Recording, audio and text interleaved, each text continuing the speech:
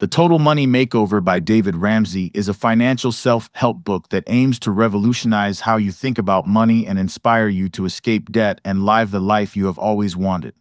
Ramsey details seven steps you can take to turn your financial situation around. The steps include admitting you have a problem, budgeting, eliminating your debts, starting an emergency fund, planning for retirement and your child's college education, paying off your home mortgage, and finally, building your wealth. It is important to understand that this is not a get-rich-quick scheme. A money makeover will take years to accomplish, requiring every bit of discipline and focus you have to reach the final step.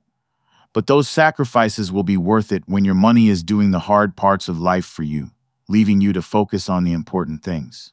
The best thing you can do following a financial crisis, such as a recession, is to learn from it and not make the same financial mistakes again. The challenge with handling your money is that it is completely on you whether you fail or prosper. If you are able to control your behavior, then you can control your finances. The Total Money Makeover was invented by David Ramsey, a twice-over self-made millionaire. The first time was during his 20s when he lost it all due to his stupidity. How he made the next million in his 40s debt-free is what the Total Money Makeover is based on. The Total Money Makeover involves sacrificing in the present so you can afford to live comfortably in the future. The system only works if you are willing to put in the work as well. The first step of the money makeover is to admit you have a problem. You cannot be in denial about your financial situation. Do not let your denial drive you into a financial pit. Identify your financial fat and cut it out of your life. Mediocrity can be an enemy when dealing with your finances. It can lure you into inaction and make you believe that everything is fine when in reality you're barely getting by. Don't wait until you reach rock bottom, as most people do, to finally realize that you have a problem. There are some logics in our society that many smart people believe in just because they are commonly accepted despite being completely flawed. One of these logics is the need to purchase things for our happiness and continued success. In today's society, many people are told that debt is a tool necessary to acquire the things we need, such as a college education, a car, and a home. Yet, history shows that debt was once not only rarely used, but greatly frowned upon. Debt is another logic that people believe is a normal part of life. People that don't borrow money aren't seen as normal and are often ridiculed. Others may try and pull you down for your unpopular decision to stop borrowing completely, but don't let them. Debt can ruin people's relationships. It changes the dynamic of the relationship. Never loan money to family or friends because lending money is based on emotion rather than logic. You can only believe that they will pay you back, but you can never be certain. Short-term decisions are often what get people into major, long-term debt. Renting to own and payday loans are two of the most common financial mistakes people make when they are being impatient. In reality, if they were patient and saved up, they could afford what they wanted outright. While people may think renting to own is clearly a poor decision, there is little difference between that and car payments. If people were willing to save up money for a year, they would be able to purchase a car in full. But they don't because everyone else has a car payment. Having a monthly payment is not a blessing, but a curse. People think they need to build their credit, which essentially means building up their debt. One of the biggest recommendations of the Total Money Makeover is to ditch the credit card and only use your debit card. The same goes for kids and credit cards. While banks make them seem easy and a great learning tool, it is simply false advertising. If you are not teaching your children good spending habits to start, a credit card will not help them learn any faster. Risk denial and quick, easy money are two major issues that the Total Money Makeover looks to correct. Risk denial means believing a safe job is always going to be safe, while quick, easy money means believing there are ways to get rich without working hard. Both are myths. The government will not take care of you when it comes to retirement. You are in charge of your own retirement plan. A major retirement mistake is to invest in gold. It is less profitable than a growth stock and won't be used if the economy collapses. No tell-all DVDs or books can teach you how to become rich overnight. Despite their claims, often they are fraudulent and will only teach you bad habits. The lottery is a scam backed by a government and a clear way to con and tax poor and unintelligent people. It sells false hope, not a golden ticket to a comfortable life. Owning a home is a great investment, but owning a trailer is not. Trailers rapidly decrease in value over time, unlike a home. The Total Money Makeover recommends renting the cheapest possible home you can put up with until you can afford your own home. You may think you don't have time to start budgeting, but in reality, you don't have time not to start budgeting. You need to start planning your future today because your future comfort depends on it. If you are leaving a marriage, be certain you don't have any debts under your name that you can't afford. Otherwise, you can get stuck paying for your ex-spouse's debts along with your own. Refinance the items so they are not under your name or force the sale of them. Bankruptcy is not a quick and easy do-over for debt. Avoid it as much as possible.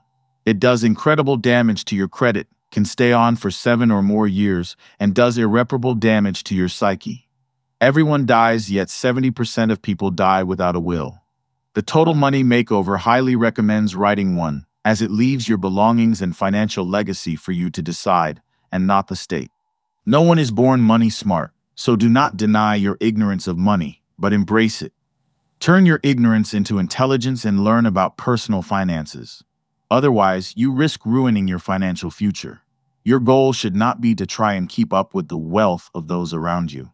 Do not fall victim to peer pressure, as it can lead to ridiculous decisions just so you can look the part to those around you. To commit to the total money makeover, you must make radical change and ignore other people's approval. We often use money to impress others, whether it be with cars, clothes, or gifts. But if you are to change your finances, you must change your mindset. To begin your total money makeover, you have to take it one step at a time. Do not expect immediate results, as those do not exist. The first step you must take is to create a budget for each month every month. Aim for a zero-based budget, meaning your income minus your expenses equals zero. If changes need to be made during the month, make sure you sit down with your spouse if you have one and still find a way to balance out the budget.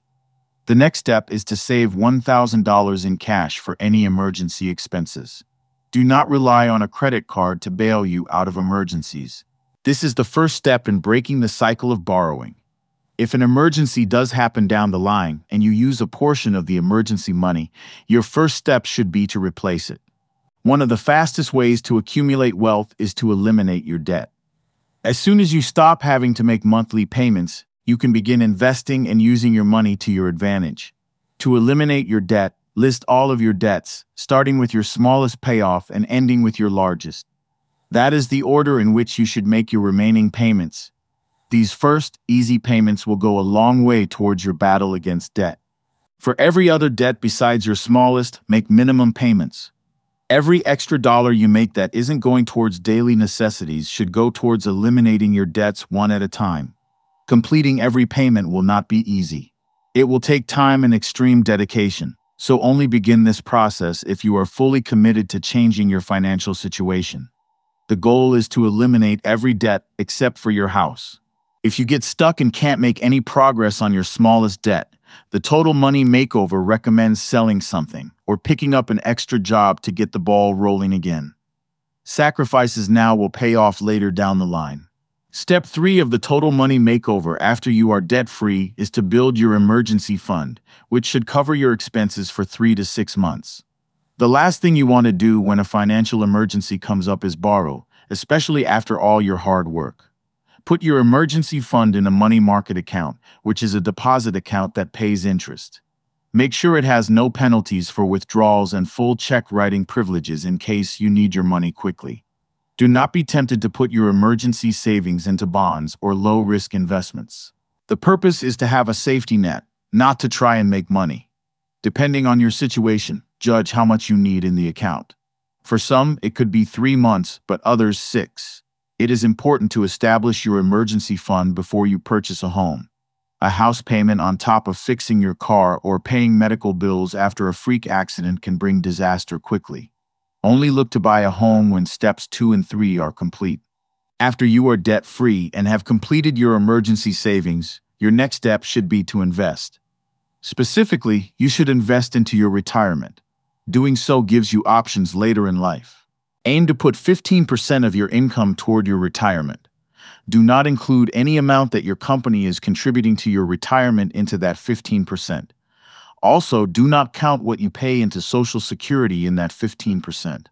When thinking about investing for the long term, Ramsey recommends growth stock mutual funds, which are funds that invest in growing companies and pay you accordingly over time. Look for mutual funds with proven track records longer than five years, as smaller track records could be misleading. Contributing to your retirement every month is the key to ensuring a comfortable and stress-free future. You should not be flippant about these monthly contributions. You should be as committed to your retirement as you were to your debt. CBS Market Watch reports that 39% of parents in America do not save any money for their child's college education. Do not be one of those parents, but it is important you only begin this step once you've completed the previous ones. College degrees will not guarantee your child prosperity or a long-term job offer. We need to be more realistic about college education, and in doing so, we can be more realistic about how much we should be spending on it and saving up for it. You should research how much colleges cost. Compare private and public universities. If a school offers a scholarship, that is where you or your child should go. Aim to pay for tuition in cash. You want to avoid student loans. The Total Money Makeover suggests funding college with an Educational Savings Account ESSA, which is a savings account that grows tax-free when put towards higher education. If you are willing to put in $2,000 a year starting when your child is born, by 18 you will have $126,000. If you are late in saving for your child's education, you need to get creative to avoid student loans. Having your child work to pay for college is one option that is beneficial for both of you. Also, picking in state schools will help lessen the financial burden. Do not overlook scholarships either. There are online databases that can give you a list of all the scholarships you or your child qualify for. If you are willing to apply to as many as you can, just getting accepted by a handful of them will make a huge difference. If you have come this far in the Total Money Makeover plan, you have accomplished much more than the average American, as you are debt-free with emergency funds and are saving for your and your child's future. But the job isn't complete. The final step is to pay off your home mortgage. There are many myths that tell homeowners to keep their home mortgage for tax deductions or so they can borrow against it to invest. But being debt-free makes both of those options obsolete when accounting for potential risk. Pay off your home as fast as possible, which means no 30-year mortgages. By selecting a 15-year mortgage, instead of just planning to pay it off in 15, you erase any chance of you altering your plan and shave off 15 years of extra payments. Home equity loans, or HELs, are a type of loan where borrowers use the value of their home as collateral. These may seem like great options for emergencies, but the last thing you want to do during a crisis is to borrow. If you are looking to purchase a home, Ramsey recommends paying for it in cash. If you are fully committed and are willing to sacrifice and save a majority of your salary for three to five years, it is possible to purchase your home with no money borrowed. If you have successfully completed all of the steps of the Total Money Makeover, the last step you need to take is to build your wealth. There are three things you should do once you have acquired your wealth. Have fun with it, invest it, and give it away. These three steps should apply while you are acquiring it as well. You must be cautious about the fun you spend your money on. Know and understand your means. Do not make major frivolous purchases before all of the other steps of the total money makeover have been accomplished. Only then should you indulge because you earned it. Investing is how you keep winning with the total money makeover. Do not get carried away with the highs and lows of the stock market because you should be focused on the long term. Be patient with it because this isn't your income, it's your nest egg. When you have established a fair amount of wealth, you should surround yourself with a team of financial advisors. But always keep in mind that they are simply advisors and that you are the one making decisions. Hopefully, there will come a time when your money reaches a pinnacle point, when all of your hard work finally pays off, and you reach a point where your money begins to make more than you do, leaving you with peace of mind and comfort of wallet. You should strive to give back when you can. This may be one of the ultimate joys in life, spreading a bit of the comfort you have found from your accumulated wealth. It will take a lot of work to get to this point, but it's worth it. The Total Money Makeover makes you confront yourself on how you handle your finances and how you think about money. It will challenge you to be disciplined and focused for all of its steps. Above all, it should give you hope that you can turn your finances around. Wealth itself is not inherently bad. It is the love of wealth that corrupts people. It would be silly to assume everyone with money is bad, just as assuming everyone without it is good. It is up to you to use your riches for the benefit of mankind. Wealth will only amplify what type of person you were before you acquired it. So if you are generous, money will not change that. But if you are selfish and a jerk, then you will become the king of jerks. While the total money makeover deals entirely with money, it is essential that you do not become obsessed with money. Do not let your money control you, but use it to help fulfill life's biggest tasks, like being a good parent, spouse, and friend.